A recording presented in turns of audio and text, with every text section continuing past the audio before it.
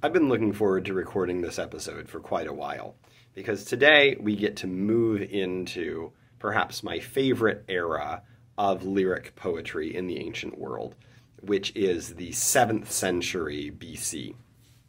Now, we've tracked the development of ancient poetry before the Greeks, and I, I, explicitly said when we started this series of videos that I wanted to meditate on the poetry that came before Homer you know, too often we look at Homer as, you know, the first poet, and before him there's nothing else.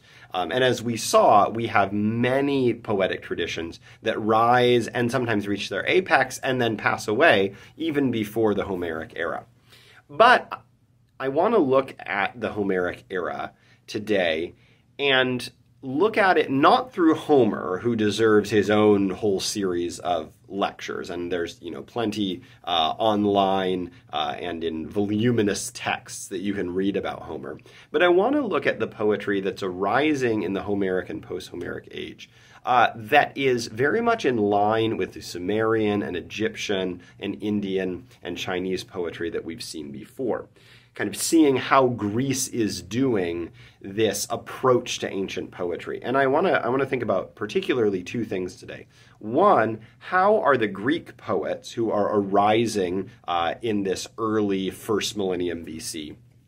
How are they interacting with questions of divinity, of you know the poet slash priest or priestess who is talking to the gods? and both worshiping them and asking them for aid. But also, I want to look um, at one of the themes that we looked at last time, which is this emerging focus not just on the human divine relationship or the human's relationship with eternity, but also the human's relationship with those here on earth, the more everyday romantic or friendship relationships.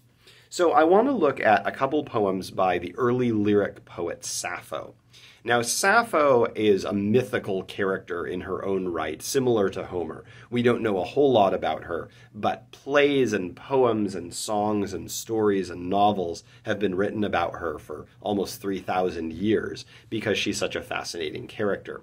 We don't know a lot about Sappho other than the fact that she uh, lived, grew up, had a career on the island of Lesbos, which is in uh, the eastern Mediterranean, very near present day Turkey.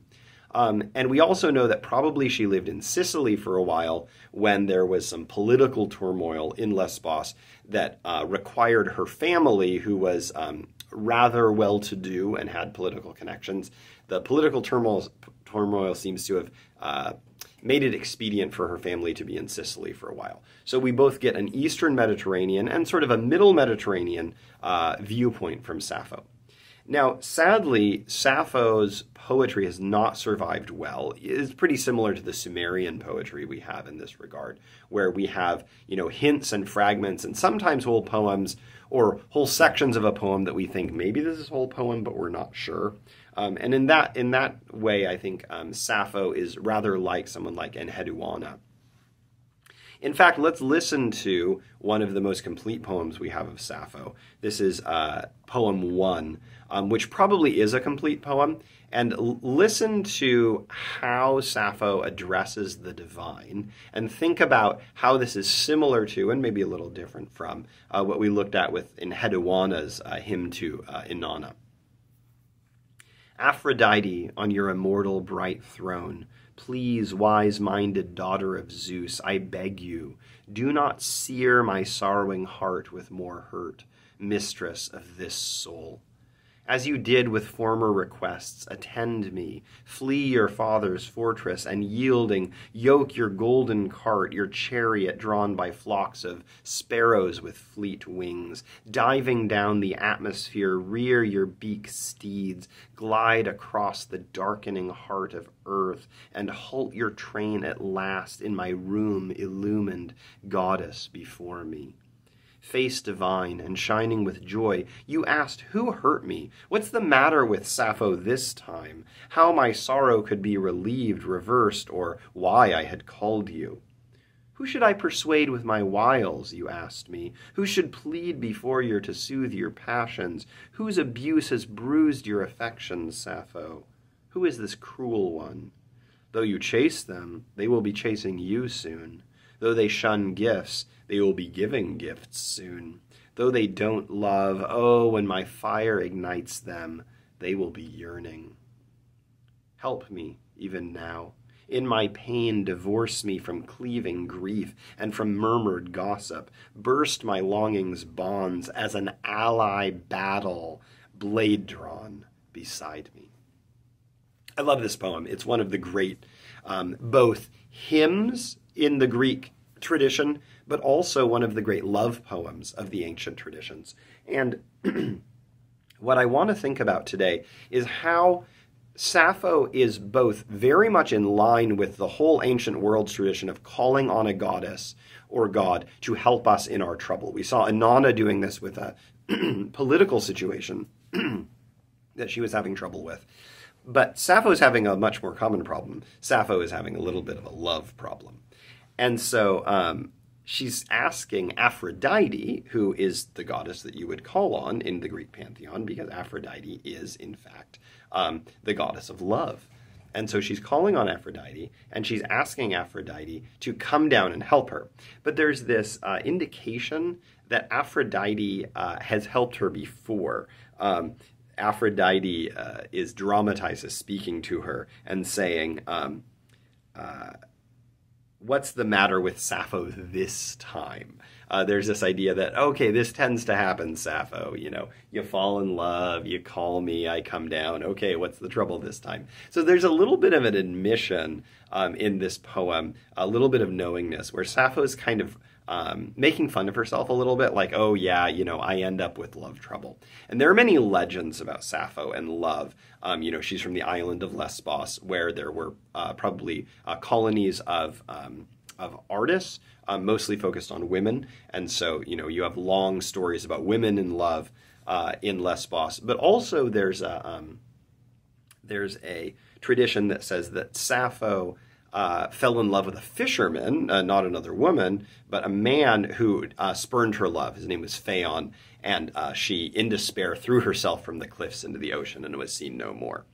Now, there's another tradition um, that says, oh no, she was actually happily married to a man, had a daughter, had a very normal life, um, and you know didn't you know throw herself off the rocks in despair or have you know torrid love affairs. So we don't really know a lot about what sappho's love life was actually like. It hasn't stopped people from as i said before writing plays and operas and novels about it. And it's fun to speculate. But what we have is the poetry. And this is a poetry that's not particularly interested in exploring the identity of the beloved. It's more this sort of fraught and almost self critical relationship with the love goddess, saying, I need your help, and I know I tend to ask you, but please help me again.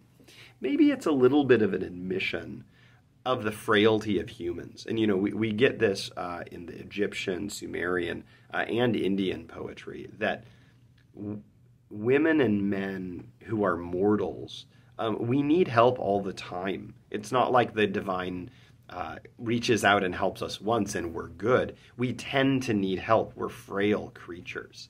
And there's this acknowledgement of that, and then a, a diving into the boldness of, no, I need help, and you're going to help me. And we end with this image, which is a little bit, a little bit ironic um, for Aphrodite. That Aphrodite, she's not a companion in love. She's not, you know, your wingman.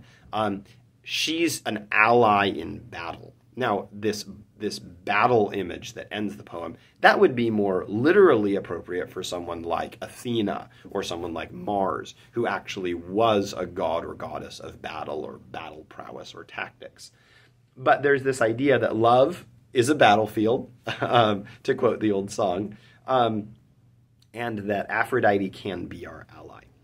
It's really difficult to talk about Sappho's love poetry today um, because most of the things we say about it, love is a battlefield, feel cliche. And it's important to know that they feel cliche because Sappho is really establishing and inventing the ways that we talk about love in poetry. Homer does talk about romantic relationships, talks about marriage. Um, there's a lot that Homer establishes, but when it comes to love poetry, and especially the lover crying out for uh, for help from the gods. It's Sappho who really sets the stage and, and shapes the imaginative parameters for how love poetry is going to develop in Greece and then eventually uh, in the Western tradition as well. Um, but we saw, of course, that the Western tradition isn't the only tradition. Um, we have this great uh, Eastern tradition, especially with the Chinese love poetry that we looked at last time.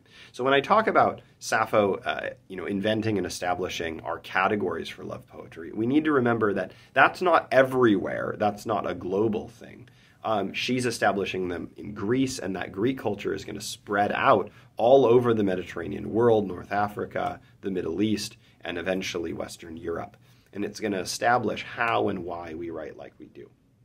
Now, before we go, I want to acknowledge another element of Sappho's love poetry. It's not like she's just pouring out her heart in verse and, you know, however she writes it on the page is how she leaves it. No, Sappho's poetry, and perhaps you could hear it from me reading the translation in English, Sappho's poetry is written in four line stanzas.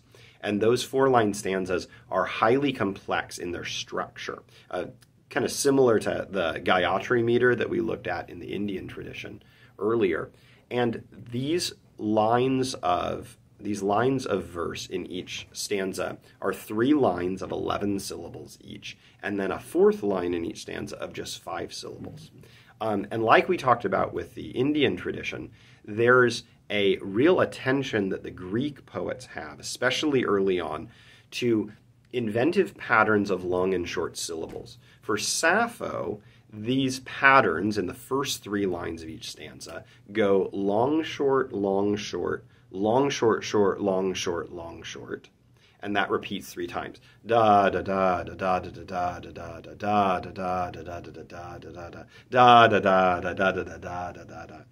So you have three lines of that. But then you have this fourth short um, line that's just five syllables, and it repeats a portion of that line. It's long, short, short, long, short. So it goes da da da da da da da da da da da da da da da in the last two lines of each stanza. And so that da da da da da um, really kind of brings it to a close. It's sort of a, you create a pattern and then you vary it up and give us a sort of short, sweet ending. You can see this, you know, I, I translated this uh, poem. Um, and so, you know, I try, I tried in our, you know, stressed and unstressed syllable format in English to kind of retain a little bit of the rhythm of the Greek. It's difficult, uh, but help me even now in my pain divorce me, far from cleaving grief and from murmured gossip. Burst my longings bonds as an ally battle, blade drawn beside me. So that da da da da da. Um, we have. Um, it's, all, it's almost like the drums are beating uh, to really uh, punctuate the ending of it and it really is both the this very human universal you know desire for the beloved this very human universal like i need help from the gods but it's also this very universal desire to order our language into formal patterns that create within the reader, within the hearer, um, a beat and a rhythm that invites them into the subject matter and into the pattern of thought and feeling that the poet is creating. This is the power of poetry. This is the power of poetry. And we see it in Sappho, just as we've seen it in all the ancient poets we've encountered. Thanks so much.